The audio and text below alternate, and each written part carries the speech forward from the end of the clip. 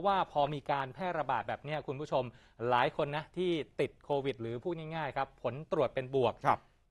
อันดับแรกเลย อยากที่จะเดินทางไปใกล้มือหมอให้ได้มากที่สุด ค่ะครับเราก็อาจจะเห็นภาพของคนที่เดินทางเข้าโรงพยาบาลเข้าฮอสพิทอลกันมากขึ้นนะครับ แต่ว่าหลายคนนั้นสมหวัง บางคนอาจจะผิดหวังเหมือนกับกรณีหญิงอายุ 50 ปีที่ชนบุรีครับ มีการตรวจพบเชื้อว่าติดโควิด แล้วก็อ้างว่าโรงพยาบาลปฏิเสธการรักษาครับ ล่าสุดทางด้านในอำเภอบางละมุงจังหวัดชนบุรีก็ออกมาชี้แจงเรื่องนี้แล้วครับ จากกรณีหญิงอายุ 50 ปี เป็นคนจังหวัดชนบุรีครับป่วยติดเชื้อไวรัสโควิด -19 ด้วยการตรวจหาเชื้อ ATK นั่งร้องไห้อยู่ริมถนนแบบนี้นะครับ และตัวเธอก็มีกระเป๋าสะพายอยู่ด้วย ก็อ้างว่าเมื่อรู้ว่าติดเชื้อครับคือเธอเนี่ยตรวจ ATK สองครั้งเป็นบวกหมดเลยนะครับ ก็เลยพยายามขอรักษาตัวที่โรงพยาบาลแห่งหนึ่ง ย่านนาเกลือเมืองพัทยา แต่ว่าถูกปฏิเสธในการรักษาครับทำยังไงอะก็ไม่รู้จะทำยังไงครับ ก็ต้องหอบสัมภาระกลับมานั่งร้องไห้อยู่ริมถนน จนมีพลเมืองดีเนี่ยครับช่วยประสานให้นายอำเภอบางละมุงช่วยเหลือครับ ก็รู้สึกแย่ค่ะ เพราะว่าเขาไม่รับผิดชอบเลยเลย คนที่ว่ารู้สึกว่าตัวเองติดเชื้อแล้วต้องการไปรักษาตัวเอง เพื่อไม่ให้ที่บ้านว่าติดเชื้อกับเราอีก รู้สึกไม่ดีค่ะ อยากให้เขา เอ่อดูแลไอ้ดูแลคนมากกว่านี้ประชาชนมากกว่านี้ค่ะ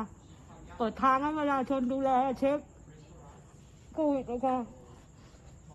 อันนี้เป็นเรื่องสำคัญคือตัวเองติดไม่เท่าไหร่ แต่ถ้าอยู่บ้านเนี่ยคนคในบ้านก็จะติดด้วยทำยังไงก็ต้องออกมารักษาข้างนอก แล้วไม่มีที่รักษาก็ไม่รู้จะไปอยู่ที่ไหนนะครับล่าสุดนายวุฒิศักดิ์สิงหเดโชในอำเภอบางละมุงออกมาชี้แจงเรื่องนี้แล้วนะครับกรณีที่โรงพยาบาลไม่ได้รับรักษา เพราะว่าผู้ป่วยในโรงพยาบาลบางละมุงตอนนี้เยอะครับ ทางโรงพยาบาลก็ต้องมีการคัดแยกผู้ป่วยออกเป็นสีต่างๆ อย่างเช่นสีเขียวครับก็คือผู้ติดเชื้อไม่รุนแรง ต้องกักตัวดูอาการที่บ้านก่อนนะครับ สีเหลืองก็คือผู้ที่ติดเชื้อปานกลาง ส่วนสีแดงก็คือผู้ที่มีอาการป่วยหนักนะครับ ซึ่งทางโรงพยาบาลก็จะรับผู้ป่วยสีแดงเท่านั้นครับเบื้องต้นได้มีการประสานหาเตียงให้กับหญิงคนนี้แล้วตามพื้นที่ที่เหมาะสมครับ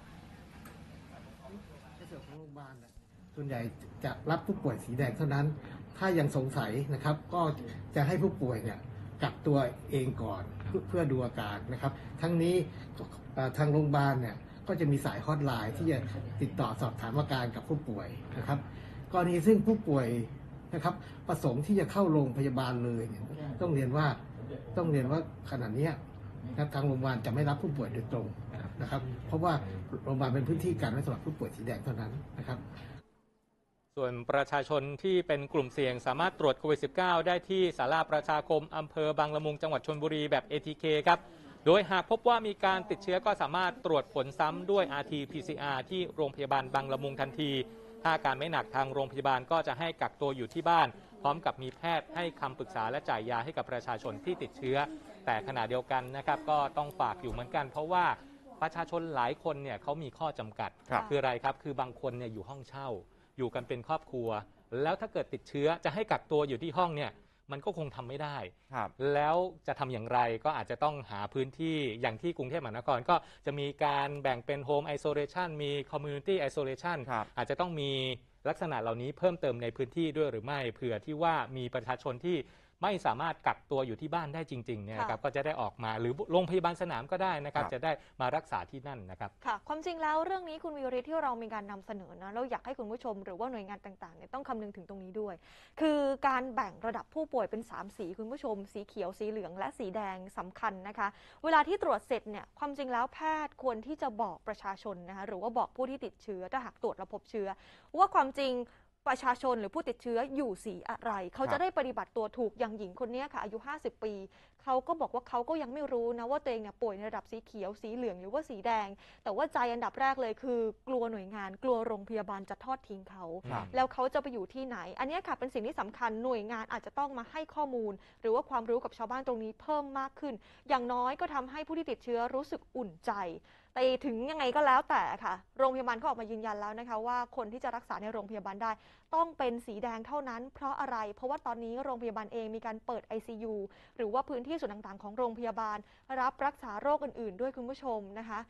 ถ้าหากมีการไปรักษาโควิด โดยที่เป็นอาการสีเขียว เท่ากับว่าจะเปลืองพื้นที่ของโรงพยาบาล จะเพิ่มภาระให้กับบุคลากรทางการแพทย์ จึงอยากจะขอความร่วมมือประชาชนค่ะ ถ้าหากบางคนบอกว่าไม่สะดวกอยู่คอนโด อยู่บ้านที่มีอยู่กันหลายคน ให้ไปอยู่ community isolation ซึ่งเขาจะจัดตามโรงเรียน นะคะต่างๆ ในตอนนี้ด้วยอืมครับ ณ ตอนนี้เนี่ยเรามีบทเรียนจากการระบาดครั้งที่แล้วนะครับ ตอนนั้นเนี่ยถ้าเกิดว่าใครติดเชื้อโควิด -19 ครับก็เข้ารับการรักษาในโรงพยาบาลได้ทันที แต่ปรากฏอืมว่าพอติดเชื้อในวงกว้างมากขึ้น คนที่จำเป็นต้องรักษาจริง ๆ อยู่ในกลุ่มสีเหลืองสีแดงเนี่ยก็อาจจะมีห้องไม่เพียงพอครับในการที่จะรองรับคนกลุ่มนี้ ดังนั้น สิ่งสำคัญที่เห็นหลาย ๆ คนคอมเมนต์กันมาในโลกอืมออนไลน์เวลาได้อ่านข่าวนี้กันนะครับ ก็คือบอกว่าอยากให้หน่วยงานภาครัฐ สื่อสารให้มีความชัดเจน เช่นครับถ้าตรวจเจอแล้วอืมอาจจะต้องบอกว่าถ้าเขาอาการไม่รุนแรงค่ะอะ คุณรับวัคซีนแล้ว อาการอยู่ในกลุ่มสีเขียวนะเดี๋ยวจะมีเจ้าหน้าที่คอยติดต่อไป กลับไปรักษาที่บ้านได้หรือไม่ ถ้าเกิดว่ารักษาไม่ได้ที่บ้านมีคนอยู่เยอะ อืมอาจจะมีการจัด hospital หรือว่าจะไปรักษาตัวที่จุดไหน community isolation จุดไหนครับ อาจจะต้องมีการสื่อสารให้ชัดเจนมากขึ้น ตอนนี้จุด